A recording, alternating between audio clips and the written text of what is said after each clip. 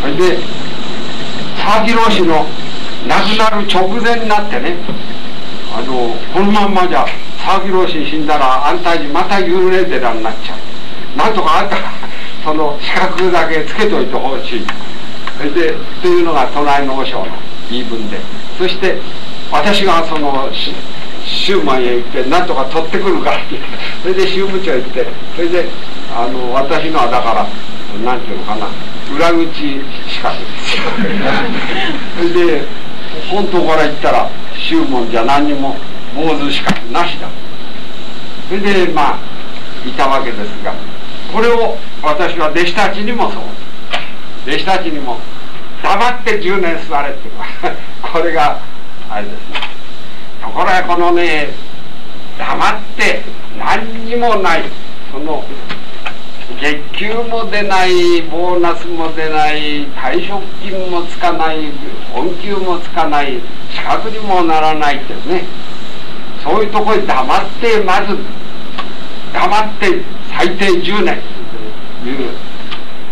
これはね厳しいです。共作で殴られるよりは厳しいです。そしてしかも座禅っては何もしないでただじっと座ってんだから。こういう座禅の仕方ですね。そしてところが私の弟子たちねそろそろ俺みんな10年た経ってきちゃった。これ私の弟子たちおかげさんと私ね弟子だけはたくさんいるんですよ。そうするともうあと10年とまた言い換えてる場合にはね。その10年の次もうあと10年。そしてまあ20年やったらもうあと10年ってまあ30年はやらないこれそれだけやるとね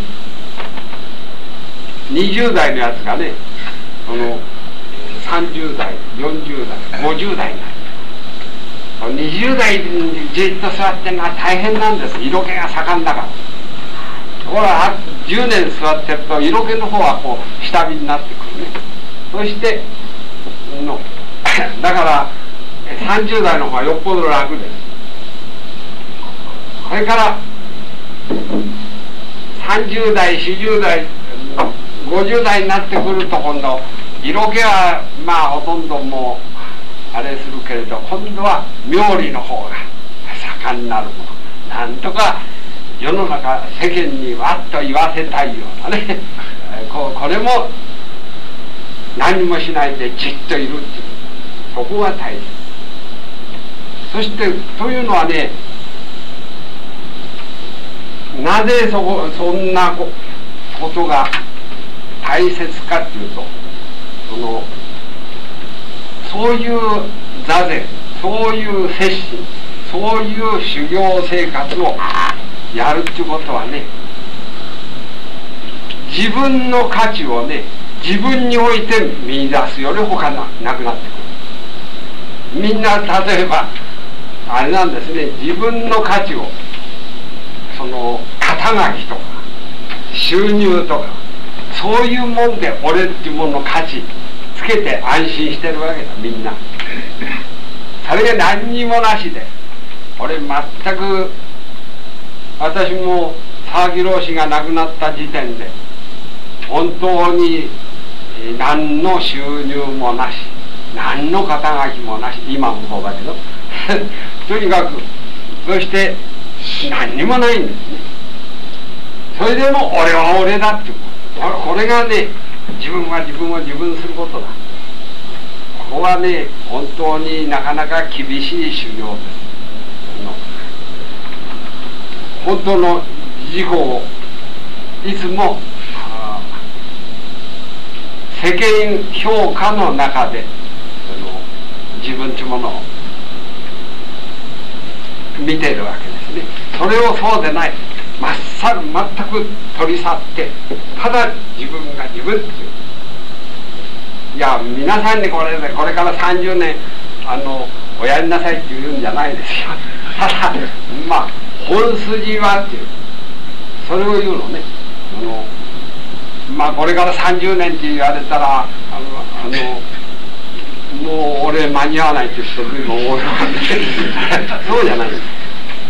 本筋としてその本当の自己はそんな世間評価の中で自分を見ていてはダメだっていうことを言いたい。そしてそうでない。そういう世間評価を全て投げ打ったところで自己の存在価値を自己において見出していると。これが大切だ。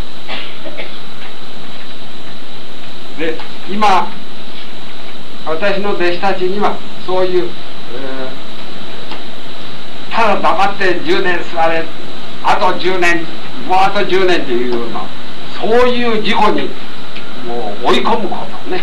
そのためにやってる。でもまあ大体そういうつもりでみんな私の弟子たちやってくれてるからありがたいと思う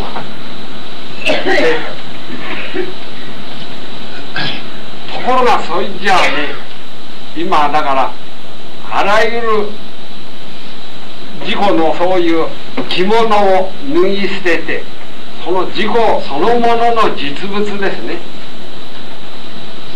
これになることが自分が自分を自分することなんです。そういう自己の実物はどんなものか。これがねその4番目の宇宙と物通機の自己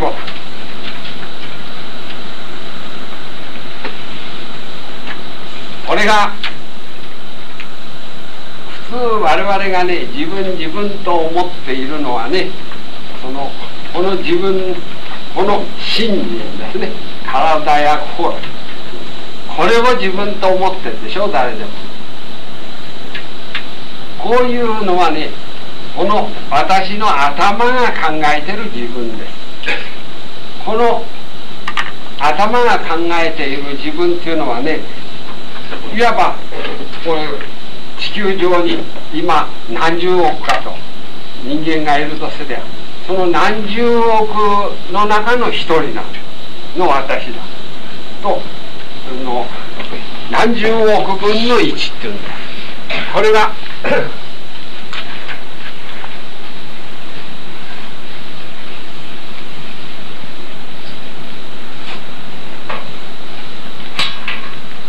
それは何十億分の1っていうのはオール分の1の私見てんだ。全ての中の1ですねそういう自分を考えてこれが自分だと思って。いるところが本当の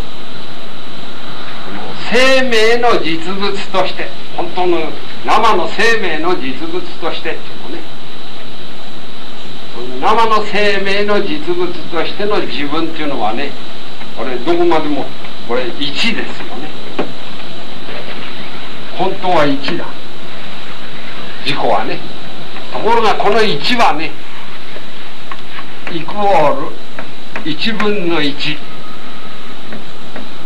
分の23分の3とこうやってあれしてですねこれオール分のオール。これが本当の自己です。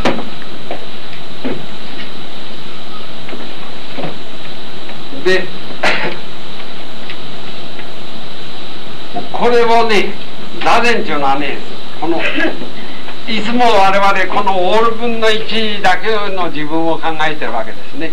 ところが座禅っていうのはそういう自分のこれが私俺だ俺だとこう考えてる考えるっていうことはね頭の中でね頭の中に一つ手があるとすれば頭の中でこう考えて握ってるようなものこれが俺だ俺だとね。ところがこれをパッとこう 手放すね。これこれが残念だ。頭の手放しそうすると落っこちるじゃない。俺だ俺だと思ってるのを手放す。そうするとそこに生命の実物がこの生命の実物としての俺は1分の2分の23分の3そしてオール分のオールっていうのはこれが生命の実物ですこれが自己の正体です本当はそれをその宇宙と物議の自分とこういうね佐々木は宇宙とスイッチがつくと思うんですよね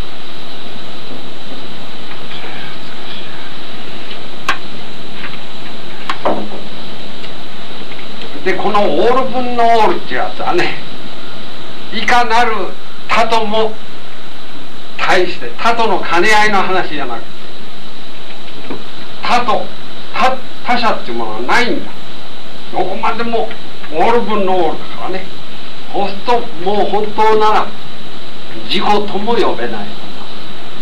これ自己っていうのはねあの人と他と対していればこそ自分だ。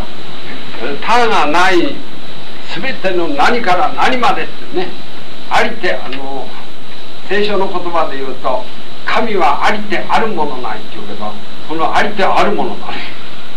それがみんなオール分のオールだとするとこれはもう自己とも呼べない。それでこれはまあ生命っていうわけ。天地いっぱいの生命。で生命入りの生命だ。生命以外ないんだ。これをね道元禅師は人一切自己人一切自己ってね。とも言います。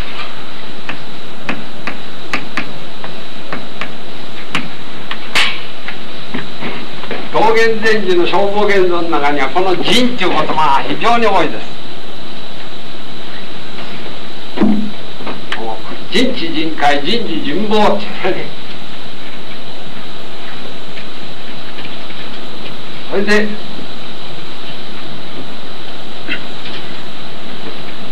このだから座禅っていうのはこの人一切生命を人一切生命することだ。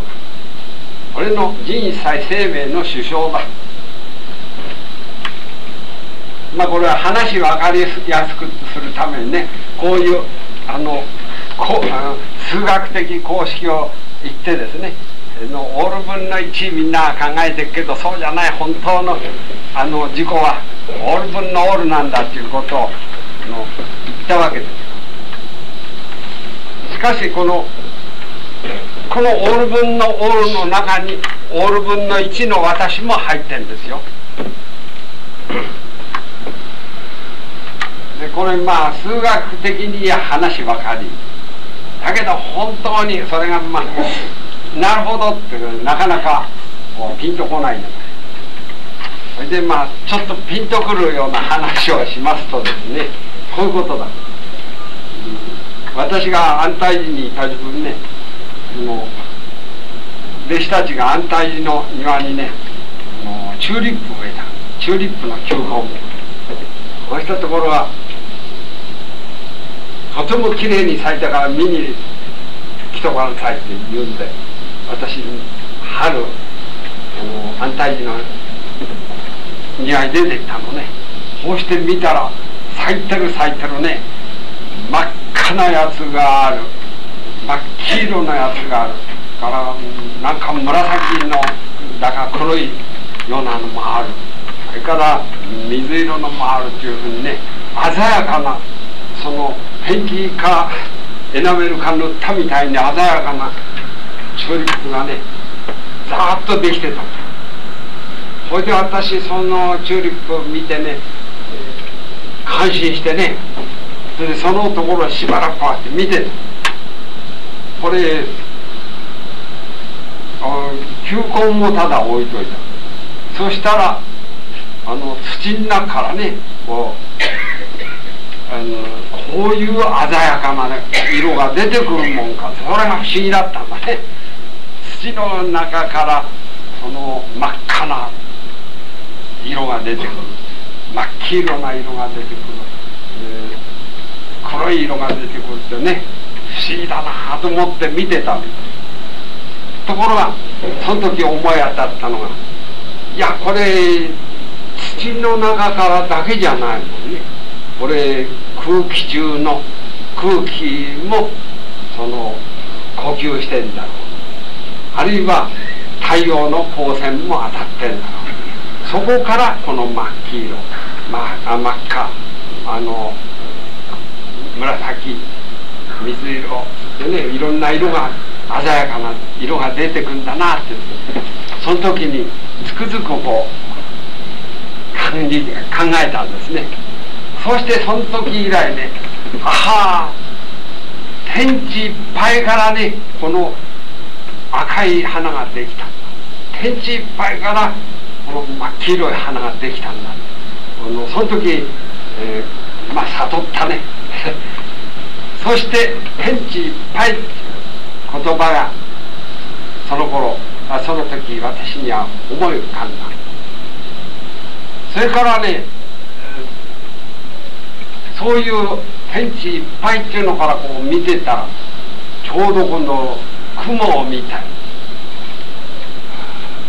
これもね何考えてみると私まああの空が好きな男で空はね一生懸命見てると。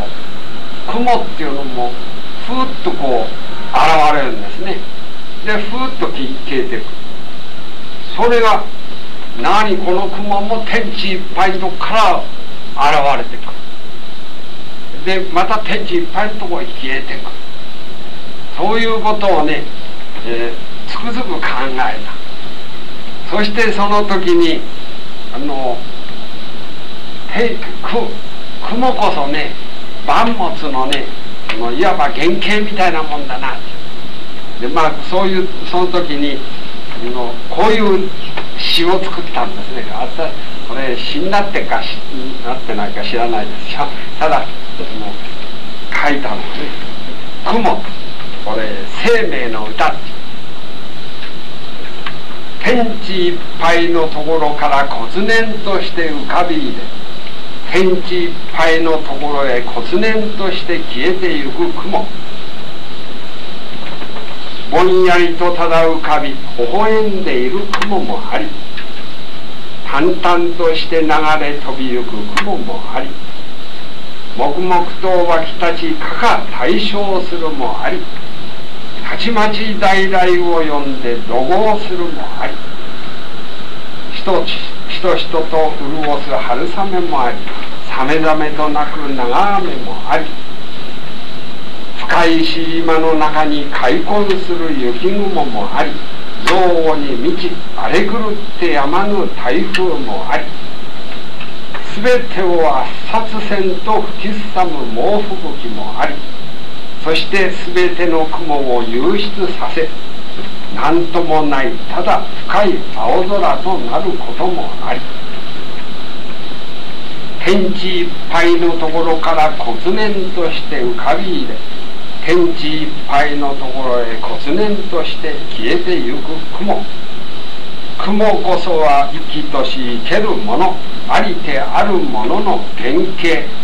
天地いっぱいこそその生命なのではないのかこういう詩なんですがね。なかなかいいじゃない。そのとにかく全てねそうしてみるとね何雲だけじゃない。これ我々もお互い同士ね愛してるけどみんな雲みたいなもんですよ。あのこれちょっと温度と湿気の加減でポロッと生まれたのがねこの私たちなんだ。それでこれまた天地いっぱいのところへパッと消えてくんだ。で佐々木老師も言ってたね。みんなやっさもさって言ってねその金や地位の取り合いやってるけど。雲を引っ張り合いしてるみたいなもんだし。雲は一生懸命引っ張り合って。世の中のやつは。あのそんなもんです。それで それに対してですねこのこの天地いっぱいっていうこれ絶対事実だ。それの天地いっぱいの生命をいかに発言するかっていうのがこれ修行のしどこなんでね。で一つの修行の歌。これももう一つ聞いていただくと天地いっぱいからの食物を食い天地いっぱいからの水を飲み天地いっぱいからの空気を呼吸し天地いっぱいからの命を生き天地いっぱいの引力に惹かれて天地いっぱいとして住み清くなる。天地いっぱいこそ私の帰るところ。こうなんですね。我々ね思っても思わなくてもねみんな天地いっぱいなんだ。あれでというのはねこれ、えー、まあなんか朝ご飯食べる。ってね俺もご飯食べるって言ったらお米だって米粒一粒だって天地いっぱいからねできてんだ。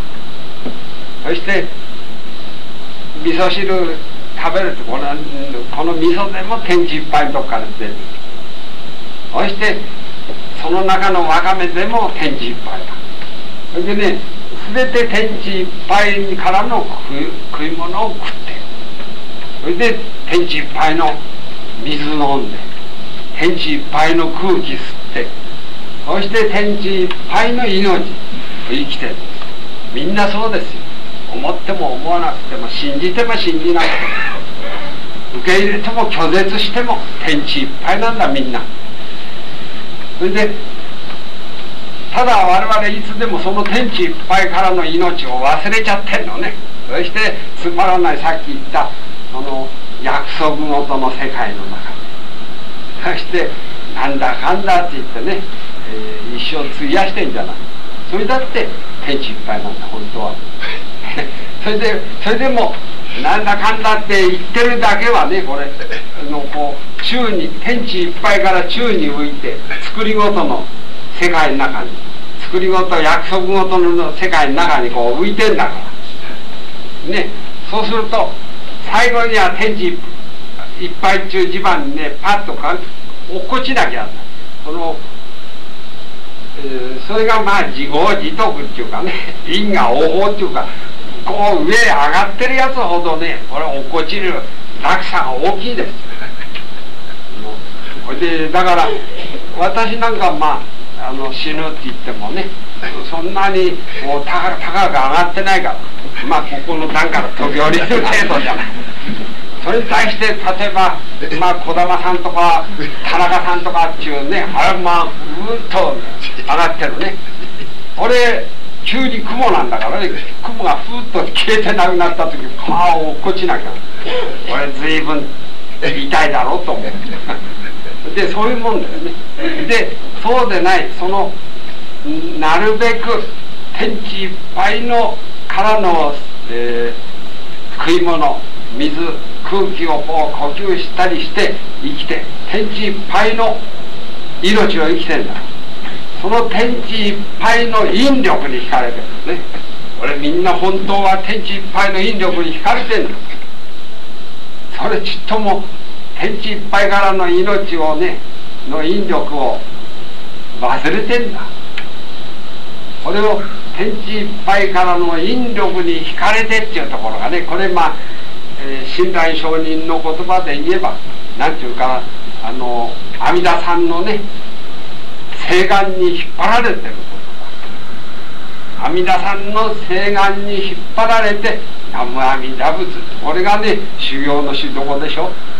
の親鸞上人は。それとお念仏、うん、それと同じだ。我々もね天地いっぱいの命を生き天地いっぱいからの引力に惹かれてるそれをこう気がついてそして天地いっぱいとして住み清くなる。これがね私の天地いっぱいこそ私の帰るところそれがさっき言ったつまり帰るところだ。筆教基礎だね行き着くところへ行き着いた。で道元禅師のね教えられる修行の修行っていうことのまあ要所って言ったらその辺ですよ。結局ね修行するって言って何も俺が修行して俺が偉くなるっていうんじゃないんだ。みんな天地いっぱいを生きてんだから。それで天地いっぱいのところに座ろう。これこれだけね。でこのさっき言ったようにその我々のする座禅これは頭手放し。これ座禅っていうのはね足こう組んでるでしょ。であの背骨に乗してこうしてただ座る本当にこれはね頭のねのぼせが下がる姿勢だね。頭の血がこう下へ下がる。それは足も組んでるんだから足の方へこう循環いかないそしてお腹もゆったり出してるからね。お腹へ大きくこう血が回る。頭の方の血が下がる。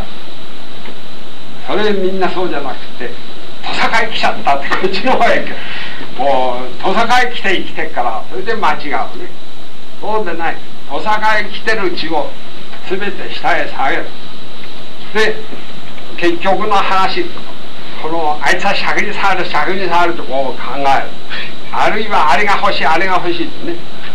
俺は何とかしてこの社長の地位を長く保つんだというそういうようなこう考えそれを手放しにしちゃうそうしそうしてみるとこれもう天地いっぱいなんです。みんな。何だから座禅ってね何十年しなくても今ここで座ればそのまんま天地いっぱいだその誰でも彼でも天地いっぱい。座禅は天地いっぱいの姿勢である。宇宙と物議の姿勢であるというのそれこそですね。これから座禅して一生懸命やってこれからなんとか天地あ宇宙と物議になりだから天地いっぱいにならなきゃなんないとこういうんじゃないんだ。そうじゃない。みんな思っても思わなくてもみんな天地いっぱい。宇宙と物議なその宇宙と物議の自分が本当に自分が自分をになるんだから。宇宙宇宙と物議っていうのはそういうこと。ですそうしてみるとね頭手放しにしてみるとね何全てのことはね自己の中の風景なんだ。こういうね風景。まああの昔の人は本地の風光とも言うけどこんな本地の風光って難しいこう、えー、ことを言わなくての自己の中の風景。そしてねなんだかんだってね私がいろんなことを考える。何私はいろんなことを考えずにはいられませんってね。それは考えたらいいんだ。考えて考える頭へ浮かんでくるのは頭へ浮かんできていいんだ。しかしそれはねいわば我々の頭っていうのをね、えー、俺生きてんだからね頭へものが思い浮かぶのは当たり前ですしかしこの思いっていうのは何のことはない分泌物だ。早い話がこう口の中に唾液が分泌してくるじゃない。それから胃袋には胃液が分泌するじゃないそれからまあ副腎っていうと副腎質ホルモンってなんだか私知らないけどそういうのが分泌してくる。これ分泌物頭はどうせ頭っていう器官なんだからね。この頭っていう器官にはあの思い考えっていうのはこれ分泌してくるのが当たり前なんだそれをこの頭分泌物ってこれがこの頭の分泌物に限ってこれこそ俺なんだとこう思うか。らそれでちょっと話狂ってくるんですね。例えば胃液でも胃袋から分泌する胃液でもこれこそ大切なんだ。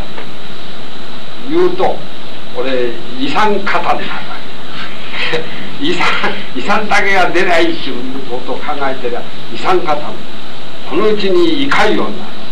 それから胃がんなる。まあ大体ね分泌物はあんまり大事にしすぎたらいけない。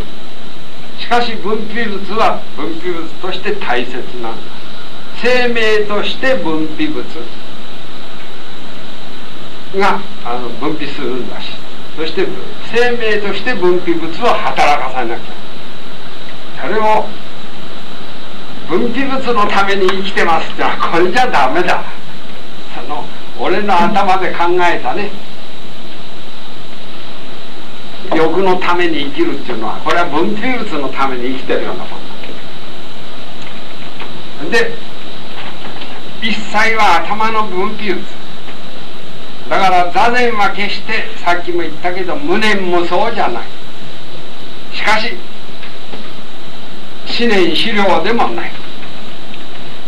一切の一切は頭の分泌物として見渡していることです我々のする座禅っていうのはねその点、うん、座禅してるとねこれ、まあ、さっきも言ったように我々の座禅はこうただじーっと座ってる座ってるだけ。で座禅の姿勢だけ一生懸命こう狙ってるね。居眠りすりゃどうせくにゃっとしますよ。どっかこうたるんでくるところそれに対して何か考え事してると座草として凝ってるところが。でそうでないぐにゃっともしないその凝ってもいないっていう座でのびのびとしていながらこのはっきりしてるこういう座禅するのを一生懸命狙ってるってことはこれなかなか大変なんです。それでそれをやあの狙って座ってるんですね。しかしながらそれでもねいつの間にかこうふーっと頭が浮かぶ。そしてその浮かぶだけならいいけれどその浮かんだ思いにもいつの間にか追うね追い始めるね。あさっき出会った女はいい女だ。それでその女の顔がまだまだこう出てる。この思いってやつの面白いとこはこれテレビみたいにまだまだと映し出すとこそれでそんなまだまだと映し出された風景を一生懸命こう見てる。考え事をしてる。ところがあしまった。俺は今座禅した。まっすぐ座禅しなきゃってまたこうはっきり座禅に戻る。これを格束っていう。そそっとねそこが面白い。そうすると今まで今まだまだとこう現れてたものがふっと消えて壁だけに。この我々の臨済禅では滞雑してこっちとこっちこう向き向き合って座りますがね我々のとこは面壁みんな壁に向かって座る。んですねそうすると本当の座禅にまたパッとこう戻ると。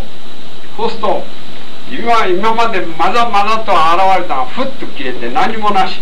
ただ壁だけ。ここが面白いところだね。それでこれをね、えー、要するに何年でも何十年でもやりやり続けることね。そうするとあのつまり一切の頭の思いっていうのは何のことはない分泌物だってよくわかる。その頭のみんなそうでなしに普通ね我々頭に思い浮かんだことが大したもんだと思ってそしてこれ消えることはないと思って追ってるわけですね。ところがどんなことでもふっとこう座禅に立ち戻って見てみたら頭に考えたことはふっと一瞬にして消える。あはこれ分泌物だなっていう。頭にあ我々私の頭に考えることはどんなことでも分泌物だなっていうことがよくわかる。これ座禅道元禅師の座禅の大切なとこはそこなんだでこれをあの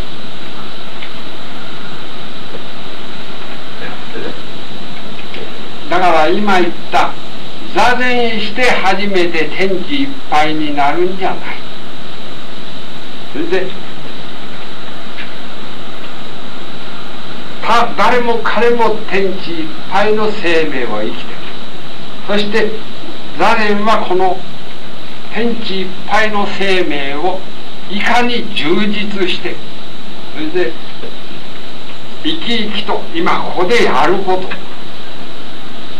それだけなんですね。これを現状っていうだからいわば座禅あの道元禅師の教えられる座禅っていうのは本当にね純粋の人我々に与えられてる生命力。生命力が生命力になるだけですこれからどうしよう。それでそのそれを道元禅師は首相一如の座禅と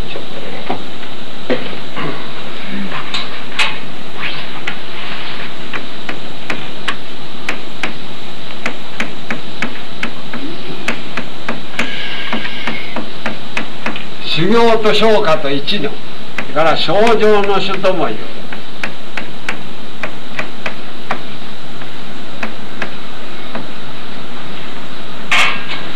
どうせ天地いっぱいの生命を生きてる思っても思わなくて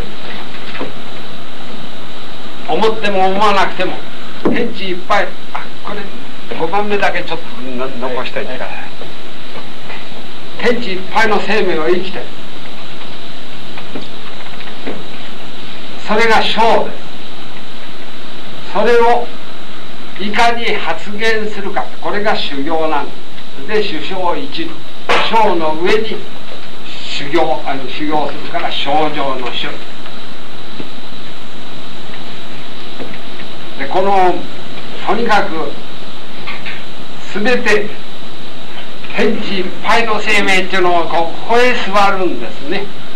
これが一番この、えー、大切なとこだ。これは今みんなはね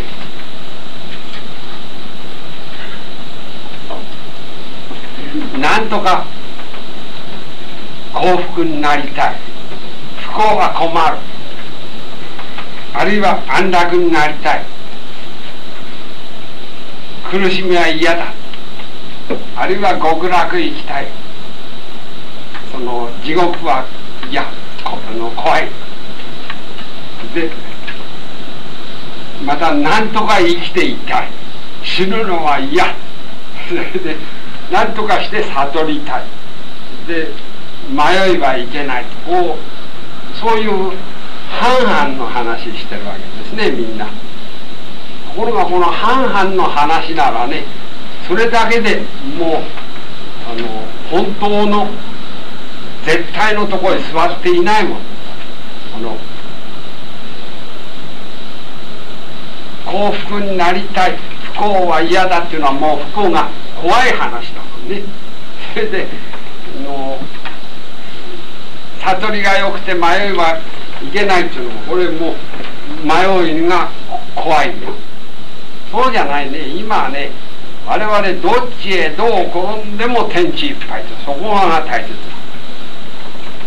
だでそのうろうろしちゃダメだそのみんなうろうろしてるもんねこの間もあの人が来てねそのどっかで見てもらったら今年は悪いよその運勢だって言われますがどうしたらいいでしょうってやってきたけどそのその人ねいつでもね名前をいつもよく変える人なんです手紙よこすたびごとに名前変わる。どうしたらいいでしょうって言うからまず名前変えるのやめろ。あの名前をねそうしょっちゅう変えるっていうの。なんとかその災難には逃れてその幸福になりたいっていうために名前を変えるんだろうけどそれ自身うろうろしてんだ。そういうことね。ほいでもう以後絶対に名前変えないそのとにかく不幸不幸災難に出会ったら不幸災難に出会うがよろしく候ってね。これが良寛様の手紙にもあるけど。病気になった時は病気になったがよろしく候だ。これどっちへどう転んでもね そこんとこまっすぐやりゃいいんだ。これ生命の実物それを病気は困る。死ぬのは怖い。迷いはいけない。不幸は困るってねそんなことばっかり言ってりゃうろうろしてる。それ自身うろうろししてる姿勢ですね。そうでなしに不幸も災難もの幸福も安楽もですね。全て悟りも迷いも小も死も全て瞳目でべーっと見てるよそこへ座んなきゃそしてもしね地獄が起こったらね地獄勤め上げりゃいいんだ。このね地獄が起こってねこれ地獄が起こっちゃったらこんなはずないってそんなことを言ったってしょうがない。地獄が起こったら地獄勤め上げりゃいい。いやいや私なんかでもあの戦後戦争戦争の時に坊主になったんだからね。昭和16年12月8日に坊主になった。その時に太平洋戦争も始まったわけ。ですだから坊主になってから本当に食うや食わずであの栄養失調にもなってねひどい生活してきた。それから昭和24年にようやっと京都の安泰に来てそれ以来あの高発生活。これは昭和24年の頃はね京都の町の人が自分の方が欲しいもらいたいくらいの時代だもん。そこへまた放ってしてもらいに行くんだからこれを怒られるのは当たり前だもん。でまあしかしそれもじっとねまああの勤め上げたね。勤め上げたの昭和37年頃になってようやっと私の場合戦後は終わったんですみんな世の中は昭和30年の頃に戦後は終わったって言ってたけど私は昭和37年に折り紙の本を出してこいつがベストセラーになったもん。それでその印税でもって初めて 金らしい金持った。それ以前はね全く小遣い一文もなしっていうのをね1年半やこれ小遣い一文もなしっていうのをどのくらいね辛いかっていうのを皆さんのわからないだろうと思うけどしかも戦後の、うん、もう不自由な時代だからねそうすとねまず歯ブラシ歯磨き変えないしょうがない塩つけてこうやって それで歯を悪くしたそれからあのちり紙は買えない。それでしょうがない。新聞が新聞紙をこう切ってね。そしてそれで尻拭いてる。そしたら地になっただからおふくろにその元気にしてますっていうねはがき書きたくともはがきもないっていうねそういうのを丸一年半や私自身も小遣い銭一文もなかった。それでもタバコ飲み飲みたかった。タバコはやめられない。それであのお客がねあの吸い残してった吸い殻をねそのその頃こんなちっちゃな仲間ね2歳だったね。それにつけてそして飲んでたけど 情けない話だね。ほいでまあそういうことだけれどそういう貧乏生活やってみるとこれ勤め上げりゃね自信つくもの。今だって本当は無収入だ。働かねえんだから。働いかに働かないことばっかりしか考えていないから。本当に働かない。それで、うん、たまたまそれなら引き受けてもいいっていうような話だけちょっと あれする程度でね大体もう働かないことにして。だから収入は最低ですよ。それでもちっとも怖くない。この貧乏は慣れちゃってるから。その点結構なんだね。でこれそれにしちゃいい衣着てんじゃないかってね。いやこれはね騒ぎ同士のあの衣ね。これ私ね本当はこのシャツでもこの着物でもあの衣でもおけさでもね私自身買ったことないんだ。みんな騒ぎ同士のお風呂だ。それでまああのあれだ騒ぎ同士たくさん残しておいてくれたから。まあ私の一生間に合う。でだから何も心配しない。着るものはある。で食うぐらいはなんとかな。誰かなんだって言って金を送ってくれたりなんかする人いるからね。俺も宅発の 一環だもん。どうせ私はね一生宅発なんでごまかして通りゃいいと。思うこの私が生きてる生活っていうのをね小さいと小さいってあのさっき言ったあの中学時代からね生活食うために生きるにあろう だから生きるために食うないって言うんだから。全くあのキャンプ生活だと思ってる。なんとかその日その日ごまかしてね通れりゃいいんだと思ってるともう結構ごまかして通れるね。それみんな生活生活ってもう大苦労してるのはバカに見えてしょうがない。でまあ、えー、余計な脱線しちゃったけど最後にね今度座禅しても何にもならぬこれが佐木老師の言葉だね。そしてあるいは佐木老師この何にもならぬっていうことがよくわからなきゃ本当に何もならんって 言われたね。そうだと思う。で今言うようにこれどっちへどう転んでも自己の生命生きるんだから。今更どこへ行くってことはない。今更何になるってことはない。どっちへどう転んでも天地いっぱいの生命なんでね。それで今一生懸命座禅修行したから初めてその天地いっぱいのとこへ行くっていうんじゃない。どっちどう転んでも天地いっぱい。それでだからいくら座禅しても何にもならない。この何にもならぬっていうことが本当によくわからなきゃ何にもならない、うん、その点ね私がね佐々木老師に着いた当初にね佐々木老師とめったに一人一対一でもってあの喋るっていうようなことをその頃できるわけじゃないんだけど宇都宮の町の、えー、行かれる時私はついてったことがある。その時にの初めて佐々木老師と一対一で喋るんだからのと思ってね。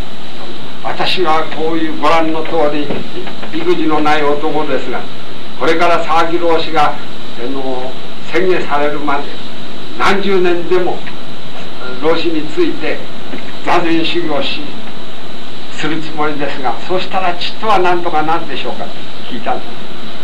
そしたら老子がね。いや何もならん。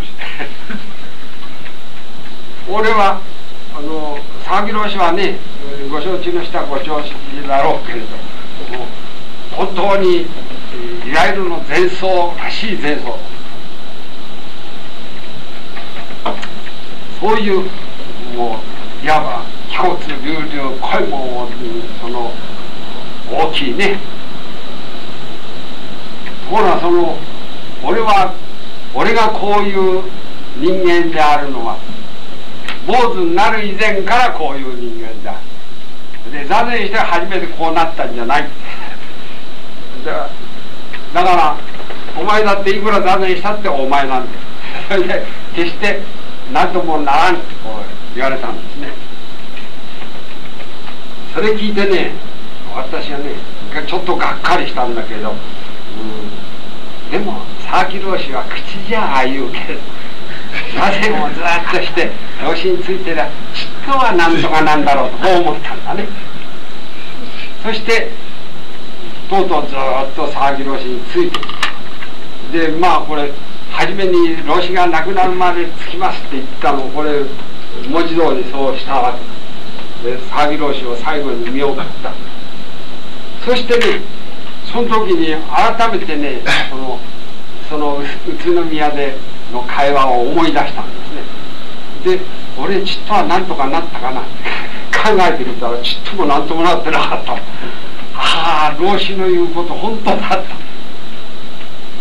で結局その時にねあのああすみれはすみれの花が咲く。バラはバラの花が咲くってその時私そういう言葉が浮かんだね。佐々木老師は佐々木老師のようなもう共進会に出したいような大きな大輪のバラですね。そういう花咲かせる。しかし私はねのそれこそ路傍のすみれちっちゃいすみれそれでもすみれはすみれの花が咲くとそれだけなんだと。それで要するに結論として言えば私は思っても思わなくても信じても信じなくても絶対事実として天地いっぱいの生命が生きてる。これ誰でもです。でしかもなお修行するというね。道元禅師の教えられる修行はこの天地いっぱいの生命をね今ここでいかに充実して発言するかそれだけです。だからこのどんな小さいすみれでも一輪花が咲いたらこれは春の生命がそこに現状したんだ。春がやってくればこそこのすみれの花も咲くんだね。でこれを現状公安とも言う。で現状公安の末期に国一方通一方偶一行衆一行という言葉がある。けど今出会ったところをただまっすぐ本当に生命を充実して発言する。そこを修行するというそういうですね。でそれを士官間修行だただしでまた無所得の上昇人とも言う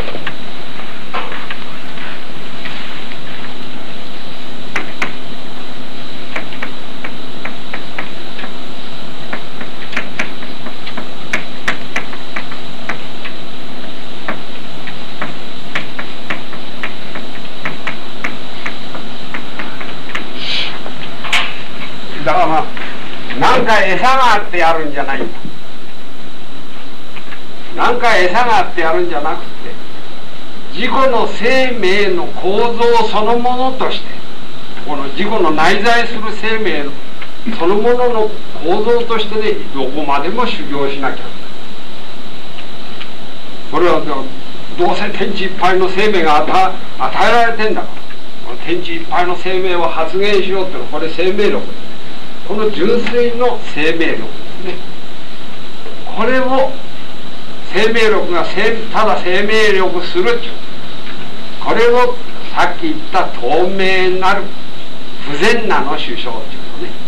不全なって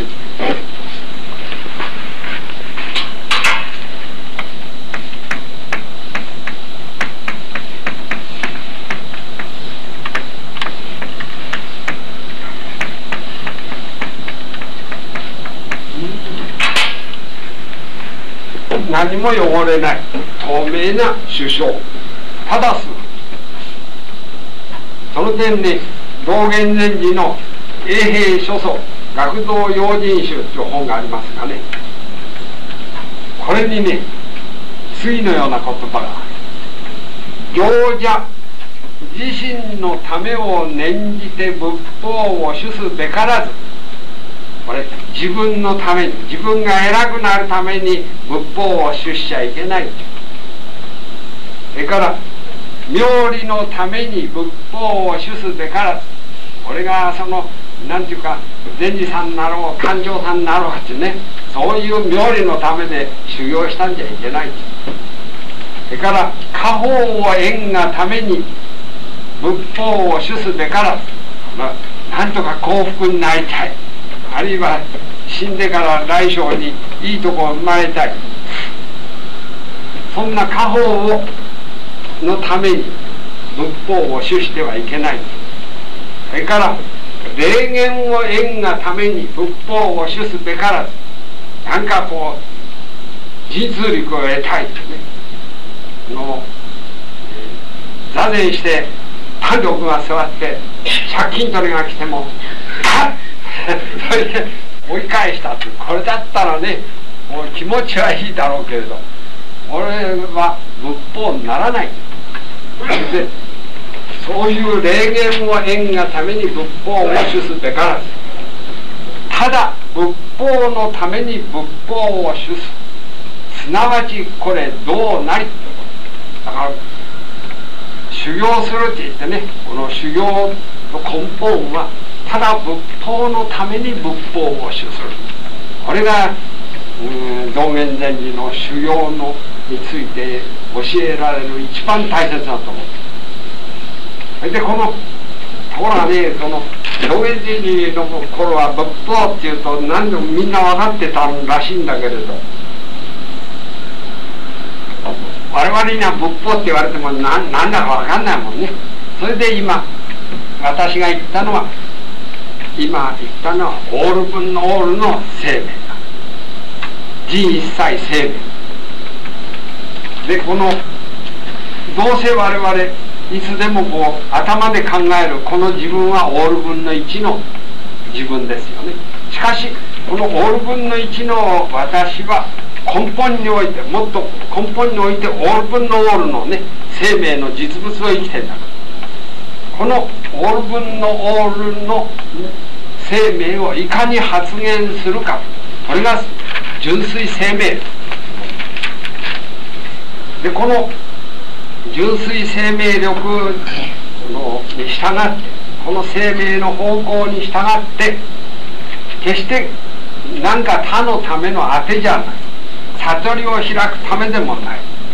ただ自らの生命力発現の修行をするこれが今言う士官であるで決してだからね士官ってい。うのただするっていうとはあじゃなくてあの釣りしてるのも釣り三昧釣りでもいいんですけど麻雀してる麻雀も釣り三あの麻雀三昧それから博打も博打三昧でねあれと同じですかって決してそうでないこれはそのまあ釣りでもその碁でも麻雀でもね競馬でも競輪でもあのそういうのはみんな一つのなんか当てに向かって夢中熱中してるってことね。その夢中熱中と士官とは違う。これもう士官っていうのは相手なしで。自己自身のうちの生命力が純粋に発現する。これが仏法のために仏法を主するこういう意味ですねまあ今日は大体そういうことで、えー、外州の座禅のお話にはならなかったと思うんだけどまあ私を通して私の修行を通して道元禅師や騒ぎ同士の教えをちょっとご紹介した。